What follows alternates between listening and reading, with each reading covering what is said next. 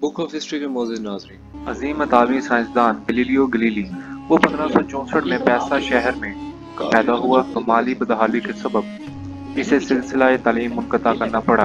अरस्तु, का नज़रिया ये था कि भारी इज्साम, हल्के इज्साम की नस्बत ज़्यादा तेज़ी से ज़मीन की तरफ़ आते हैं। यूनानी फलसफी इसी नज़रिए को तस्लीम करते रहे लेकिन गलीलियो ने इसकी आजमाइश का फैसला किया। तो जल्द ही मालूम कर लिया कि अरस्तु का ख्याल गैर दुरुस्त है। और इस हवाले से पैसा के एक तरफ़ झुके हुए मीनार से इसने अशिया नीचे गिराकर तजुर्बात किए थे। और गलीलियो अपने तौर पर ही एक बहुत सी बेहतरीन दूरबीन तैयार करने में कामयाब हो गया। इसने चाँद का मुशाहिदा किया और इसने सियारों का भी मुशाहिदा किया। इसने सूरज का भी मुशाहिदा किया। ज़मीन और दीगर सियारे सूरज के गिर चक्कर लगाते हैं, ना कि सूरज ज़मीन के गिर चक्कर लगाता है।